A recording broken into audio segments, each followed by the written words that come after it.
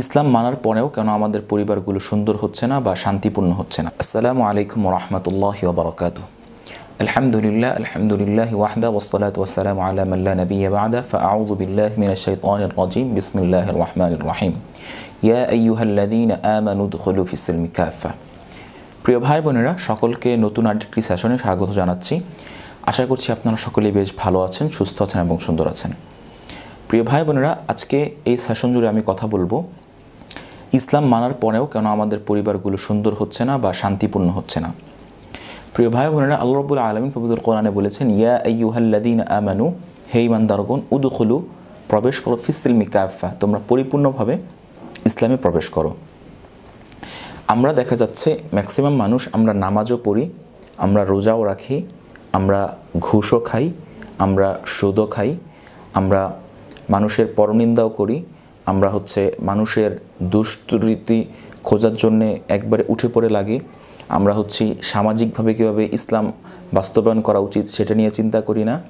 এবং ইসলামের যে জ্ঞান আছে সেটা একবারে দাঁড়ে দাঁড়ে বারে বারে কীভাবে প্রচার করতে হয়, কি করা উচিত সেটা নিয়ে চিন্তা করি না এবং যারা করে তাদের বিরোধিতা করি। প্রিয় ভাই বোনেরা ইসলাম এসছে মানবতার মুক্তির জন্যে, মানবতার কল্যাণের জন্যে। শুধুমাত্র এক কেন্দ্রিক কল্যাণ নয়, সার্বিক কল্যাণ।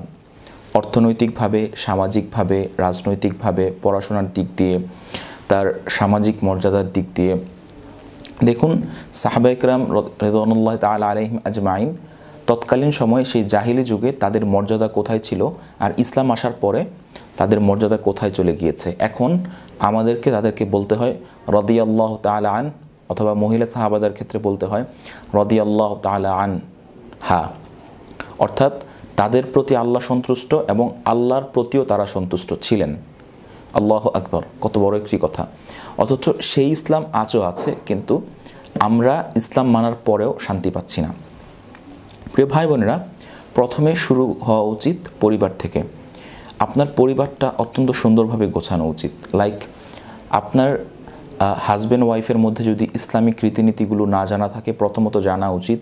কোরআন শরীফটা সহিশুদ্ধ করে পড়া উচিত। এবং বিশেষ করে আমি এই ভিডিওতে অত্যন্ত গুরুত্বপূর্ণ একটা বিষয় টপিক আপনাদের সামনে নিয়ে আসব, সেটি হচ্ছে পর্দা।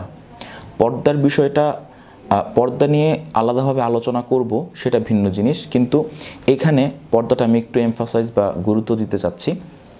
পর্দার বিষয়টা অত্যন্ত গুরুত্বপূর্ণ। Maximum family ninety nine point nine nine percent পরিবারে দেখা গেছে পর্দার যে বিষয় আছে, সেটা মানাই হয় না। লাইক হয়তোবা আমাদের বোনেরা, সম্মানিতা বোনেরা, তারা হয়তোবা পর্দা পরে বোরকা পরে বাহিরে যান, কিন্তু প্রকৃত যেই পর্দা, প্রকৃত পর্দা কোনটা? ঘরের ভিতরে। ঘরের ভিতরেরটা হচ্ছে প্রকৃত পর্দা। কেননা, ঘরের ভিতরে আপনার দেবর থাকে, আপনার ভাসুর থাকে। তারপর হচ্ছে আপনার যাদের সাথে দেখা দেয় হারাম এই ধরনের মানুষ থাকে, তাদের সাথে আপনার অবশ্যই পর্দা করতে হবে, ঠিক আছে?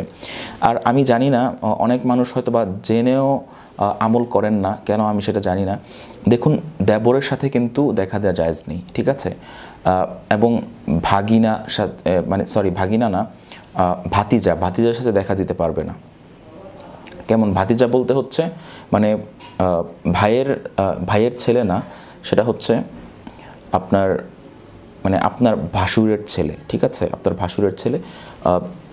কথাগুলো একটু ক্রিটিক্যাল হয়ে যাচ্ছে কিনা আমি জানি না। এটা অত্যন্ত গুরুত্বপূর্ণ একটা জিনিস যে, এই যে যে পর্দার যে বিধানগুলো আছে, এগুলো না মানার কারণে আমাদের পারিবারিক শান্তিটা অত্যন্ত দুরূহ হয়ে গিয়েছে, ঠিক আছে? এটা আপাতত স্টপ আপাতত এটা বন্ধ। মানে এই ভিডিওতে এটা বন্ধ করলাম। এবার আসুন আরও কিছু বিষয় নিয়ে কথা বলি। সেটা হচ্ছে ভাষা ভাষা। আমাদের ভাষা এতটাই সুন্দর যে আমরা কথায় কথায় বউয়ের সাথে খারাপ আচরণ করি, ঠিক আছে? কথায় কথায় একটু হলেই হয়তো বা থালা বাটি ঢিল মেরে ফেলে দেই বা তাদের সাথে খারাপ আচরণ করি, খারাপ কথা বলি, ঠিক আছে? তাদেরকে অন্যান্য ভিন্ন ভাষায় কথা বলি। দেখুন সে হচ্ছে আপনার স্ত্রী। আপনি তাকে জেনে শুনে বিয়ে করেছেন, ঠিক আছে? আপনার যদি তাকে ভালো না লাগে, আপনি তার সাথে পরামর্শ করেন কীভাবে সেটা ইনক্রিজ করা যায়, কীভাবে সেটা ডেভেলপ করা যায়, কীভাবে সেটা উন্নত করা যায়। কিন্তু আপনি যদি এইভাবে খারাপ আচরণ করেন আর যদি আপনি পরিবারে শান্তি চান, সেটা কখনোই সম্ভব না। তাই প্রথমত আমাদের পরিবারটাকে গুছিয়ে আনতে হবে, ঠিক আছে? ইসলাম মানার পরেও বা ইসলাম আসার পরেও আমাদের পরিবারগুলোতে শান্তি নেই, এটা অত্যন্ত দুঃখের বিষয় প্রত্যেকটা মুসলিমের জন্য, ঠিক আছে? কেননা তাহলে আপনার জীবন এবং একজন কাফের বা বেদিনের জীবনের মধ্যে কতটুকু পার্থক্য রইল? একবার একটু চিন্তা করুন। একজন কাফের বেদিন, সেও যেভাবে লাইফ লিড করছে, তার জীবনে যেমন অশান্তি, আপনার জীবনে অশান্তি। সেটা কেন? সেটা হচ্ছে আপনি ইসলাম আংশিক মানেন। তাই আসুন, আজ থেকে এই যে আংশিক মানার যেই প্রবণতা, যে আমরা হয়তো বা নামাজ পড়ছি, রোজা রাখছি, হজ করছি, হালাম, হালাল খাচ্ছি সরি হালালের নাম দিয়ে হারাম খাচ্ছি, এই যে, যেই বিষয়গুলো আছে নামাজ রোজার পাশাপাশি আমাদেরকে ইসলাম কীভাবে কায়েম করা যায়, ইসলাম নিয়ে চর্চা করা, ঠিক আছে? আপনার পরিবারে একটা ইসলামের যে মৌলিক যেই কিতাবগুলো আছে লাইক কোরআন শরীফ, কোরআনের তর্জমা, কোরআনের তাফসির তাফসির ইবনে কাসির আপনি কিনতে পারেন।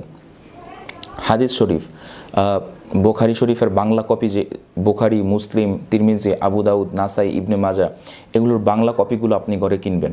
কিনে এগুলো নিয়ে আপনি সরাসরি এগুলো থেকে পড়বেন। ঠিক আছে? এগুলো নিয়ে যখন আপনি পড়বেন, আপনার ঘরে একটা অন্যরকম একটা পরিবেশ তৈরি হবে ইনশাল্লাহ তো এই হচ্ছে বিষয় যে আমরা যদি ইসলামে পরিপূর্ণভাবে প্রবেশ করতে চাই, তাহলে জ্ঞান চর্চার কোনো শেষ নেই এবং আমরা ইসলামে পরিপূর্ণভাবে প্রবেশ করতেই হবে। আমরা যদি ইসলাম পরিপূর্ণভাবে প্রবেশ না করি, তাহলে আমাদের এই দুনিয়াও যেমন জাহান্নাম হয়ে যাবে, পরকালটাও আমাদের জন্য জাহান্নাম হয়ে যাবে। তাই আসুন আমরা ইসলামে পরিপূর্ণভাবে প্রবেশ করি, ঠিক আছে? যদি আমরা কোনো বিষয় না জানি, তাহলে আমরা যারা জানে তাদেরকে তাদের থেকে জেনে নিই। আল্লাহবুল আলমদের কোরআনে বলেছেন ফাস আলু আহলা দিক্রিং কুম তোমরা তা আলামুন তোমরা যদি কোনো বিষয় না জানো, তাহলে যে জানে, তার থেকে জিজ্ঞেস করে নাও, তার থেকে জেনে নাও, ঠিক আছে? আপনার মসজিদের ইমাম হতে পারেন বা এই যে আমাদের মতো যারা অনলাইনে কথা বলছেন, তাদের কাছে আপনারা আস করতে পারেন। আরও অনেক মাধ্যম আছে, আপনারা বই কিনে পড়তে পারেন, ঠিক আছে? বাট দিন শেষে হচ্ছে সুন্দর একটা পরিবার এবং পরিপূর্ণ একটি ইসলামিক পরিবার এবং পরিপূর্ণ একটি ইসলামিক মাধ্যম আপনার ঘরে থাকতে হবে। অন্যথায় আপনার ঘর কখনোই শান্তির জায়গা হবে না। ভালো থাকবেন, দোয়া করবেন। আমাদের এই কার্যক্রমগুলো সম্পর্কে আপনার মতামত জানাতে ভুলবেন না। ওয়াসালামু আলাইকুম রহমতুল্লাহি ওবরাকাতু